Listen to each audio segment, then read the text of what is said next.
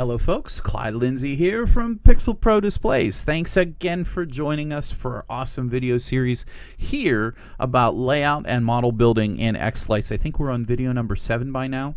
And uh, what we'll be doing in this video is continuing our um, our study and, and learning how to create models in Xlights. But before we get into building megatrees, which is what our video is on today, today's sponsor is the Pixel Pro Display Sequence Club. When you join the PPD Sequence Club, you get one awesome, well sequenced, professional sequence PPD sequence, as well as a number of PPD preset effects.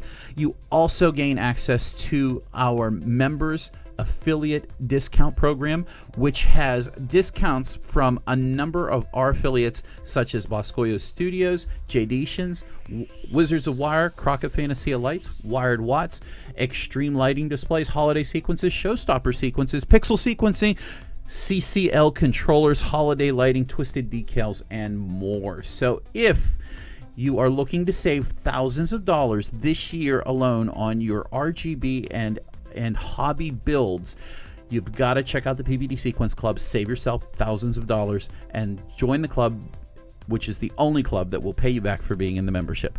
Let's get right into this uh, this this kind of uh, easy but challenging to understand uh, model of the the Megatree. Now, uh, it's going to sound a lot like the the Matrix videos. If you haven't watched those, I'm going to go through a little bit more of the same information. But the idea behind all of this information is to really get you the ground information, the ground knowledge, and be able to pull it together uh, so that you can build your own if you are so inclined to do so. Uh, so what we're going to do, we clicked one time. We'll go ahead and click and, uh, oh, I guess I didn't. So click one time. Um, I clicked and dragged. My mouse doesn't like me, I guess. There we go. there is a mega tree. Now, the first thing you're going to notice, it comes in the 360 degree variety. Uh, and that, if you look over here to the left, it says type is round. There is an option to change this. You can change this from round to flat to ribbon. Um, if you leave it at round, you notice that there's 360 degrees here. This is an option that you can come in, and let's say it's only going to be 180 degrees, half of a tree. And you just click on it there. It made it perfectly into a, a 180 degree tree. If you don't want it as 180 degree, maybe you want it as a 220 degree tree. Well, Xlights is awesome and it kind of does that for you. If we click into 3D and we go in here, look, look, it actually wraps around the back side for you. You know, so it's that's kind of cool. That's kind of cool. Um, let's go ahead and uh, let's go ahead and set this up as a 180 degree tree because that's usually what most people are going to do. Um, unless you have a special circumstance that you are on a corner, you can buy certainly uh, certainly by any means you can make this number whatever number that you'd like. Uh, some of the other options are a flat tree and that just puts the pixels straight up and down. It makes it look a little bit more matrix-like. And then finally, we have a ribbon tree. If you are using strips and you're you have the strips all lined up on the ground on the same line, and you lean them back, the one in the center is going to stick up the tallest. So this would give you a little bit better representation of what your exact tree is going to look like in your display, if that's what you prefer. So I'm going to go back to the round. I'm going to go back to 180. Now, the next thing that you're going to notice is we have a couple other options.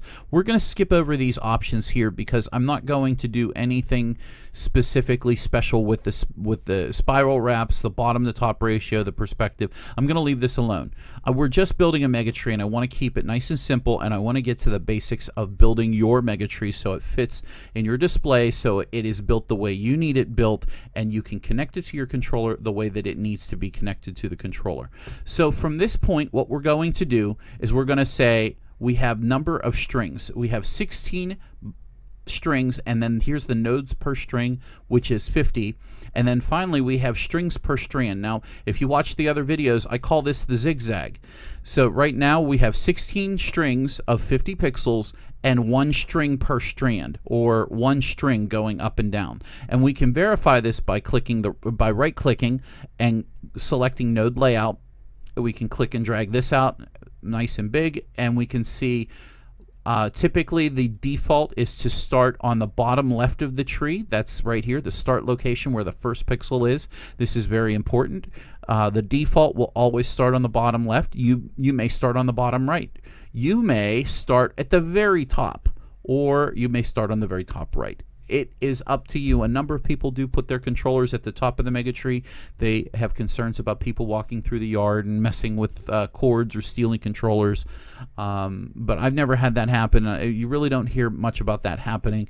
But uh, but the other thing you'll notice, what's really nice about this screen is this tells you the name of the prop. Um, it's displayed as a tree. Uh, it tells you what the string types are. It tells you total nodes, 800 nodes and it tells you how tall it is, which is 50 pixels tall. So the other thing you're going to notice is this blue and then this green color here. The blue and green signify that these are separate outputs on a controller. In other words, it's one continuous string per color. A continuous string of blue, that's the first column here. It says node node uh, string 1, node 49, node 50. N50 stands for node. This is the green string, string 2, 44, 45, etc., etc. And then, uh, it, you know, this goes on to string 16 and all the pixels north of that. So uh, we're going from left to right and bottom to top, and that's how the models are built. Now, um, today, uh, it, many many people used to build their megatrees exactly like this, and uh, back in the early early uh, 2000 or I want to say the early 2010, 2011, 2012, pixels were ridiculously expensive, and uh, buying a 800 pixel megatree was ridiculously crazy to do. It cost you 800 bucks for the pixels, and then it cost you another 200 for a controller. Then it cost you another, you know, 50 or 60 bucks to build the controller. Uh, now you have to put it on a pole and get it up there and make it stand up, and that was another hundred dollars worth of hardware at the hardware store. Well um, the the price of a Megatree back uh, in the early uh, 2010, 11, 12 uh, for Pixels was ridiculously overpriced, and this made it so hard and so challenging in order to make uh, to make these trees. And uh, you're looking at roughly fourteen hundred dollars or thirteen hundred dollars. You put a star on top. It, it got more expensive as you did things, and of course it is expensive today. But we don't see near the prices of Pixels because they're so much cheaper now. Um, so that's why you see this 16 by 50. This was the standard pixel tree size. Now let's take into consideration that the uh, the the tree, the mega tree that you may be building, is going to be 100 pixels tall and it's going to be 32 wide. Roughly, that's one of these trees times four. That's 100 up by 32 wide. This is 16 wide by 50 up. And so what we're going to do is we're going to rebuild this mega tree so that you have two strings per strand. We're going to build it with 32 strings, that is, but only 16 outputs. So what we're going to do is we're going to make some changes here, and you're going to see as we go and look at the node preview how things change and how Xlight sees them as. So if we go in here and we we're going to leave this. This is a 16 channel convert controller, and we have 100 pixels off of each one. I'm sorry, yeah, 100 pixels off of each one, and we zigzag or we go up and then back down one time this is this isn't going to be 32 this is going to be this is going to be 1600 pixel tree not 3200 um, if we zigzag up once and down once we change that to a 2 and now you can see we've changed it. So if we right click and we look at the node layout you're going to see some differences. So this is a 1600 pixel tree. It's 50 pixels high and we can tell right away it's a little different than our original because now when we scroll to the bottom here we see node 1 string 1 and it goes all the way up to the top to node 50 just like it did before but now we're folding that string in half and coming back down if we scroll down here it says node 100 string 100. So basically what we've done is we've taken 100 pixels, moved them up in the air 50 and come back down 50. And then we repeated that 16 times across the entire tree to 16 strings at 100 pixels per string. Now that's awesome, but we all know that some of you are going to go even bigger. And therefore, what we'll do is we will make this a 16 pixel or a 16 output tree with 200 pixels on each string. And so now the difference between this, between what we're going to do and what you see right here on your screen, is instead of one zigzag going up and then back down, we're going to have two more zigzags that are blue going up, down, up, down. And we're going to share that port controller data with more pixels per output. Now, uh, if you have a controller like the Falcon, it's more than capable of handling such a task as this, but there are some controllers that have a number of limits. Uh, for example, the E682 can only control, uh, I believe, uh, what 2,000, 2,400 pixels. And if you put 32 pixels on a Megatree here, it's not going to work, not the way that you think it's going to.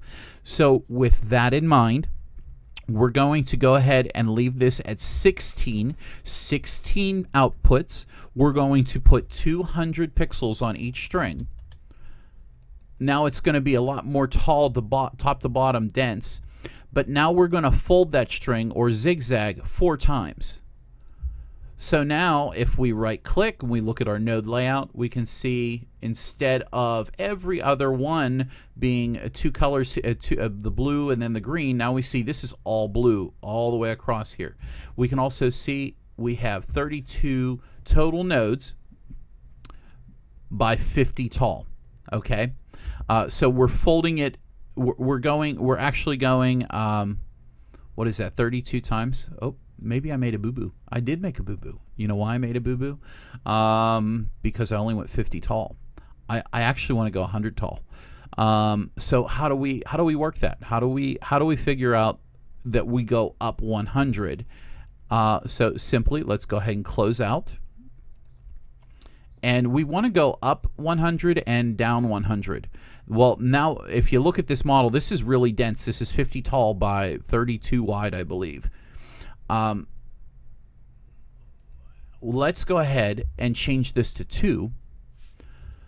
And so now you'll have 16 strings of 200 pixels on 2 per output. And now if we go look at the node layout, we're at 3200, we're at 100 tall, and 32 wide. So this is 2. This is string 1 and string 2 going up and down. So if we come down here, you can scroll down and see node 1 string 1, node 200 string 1. So this is the start and then the stop. Now, most people who are doing this may power inject at the 200th pixel, and that would be important for you if that's something that you're going to be doing.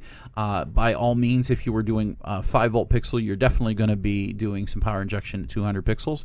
Um, and dimming them down, I'm, I'm pretty certain. Uh, and then you can see here, this is one output here. That's one, two, three, four, five, six, seven, eight. Well, we know it's 16 because we put in 16. We know that we have 16 outputs. We consider this as a 16 output number, the number of strings that we're going to be placing on the tree.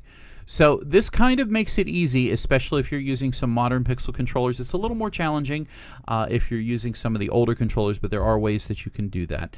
And I just wanted to walk through how to do all this. So I think this is a pretty good... Um, way to get things rolling with your Megatree. Uh, by all means, a 3200 pixel Megatree nowadays is going to cost you quite a bit of money. Make no mistake about it. You still have to buy the Boscoyo strips or, or you have to hang them one way or another. And not only that, you've got to build everything and push it all together. If you build a 3200 pixel count Megatree, you are doing fine for yourself. It's going to look fantastic. And also, all of our PPD sequences are going to look great on it because that's what we sequence on them on. So, folks, I hope you've enjoyed this video today. If you did, please make sure you hit the like button. There is a subscribe button on the bottom right of your monitor right now where you're viewing this video. Please click that subscribe button so that you are always in the know with what PPD is doing. There's a bell for notifications to let you know when we have a new video out. And finally, folks, if you found this content helpful and useful, please consider signing up and supporting Pixel Pro Displays for one month with the Sequence Club. PPD offers so many things to its members, but not only that, we're here to help out the community and we love doing so. So please join the PPD Sequence Club if you haven't done yet so. Also, finally, folks, we have a fantastic Facebook community that you should totally join by looking for Pixel Pro University on Facebook. And uh, it's a hell of a group. We keep absolutely zero pixel intimidation going on there because it's really hard to learn some of this stuff and it's frustrating. So thank you for watching, folks, and we will see you in the next video. Down through the chimney with old Sam Sam, and every time it rains, it rains. And don't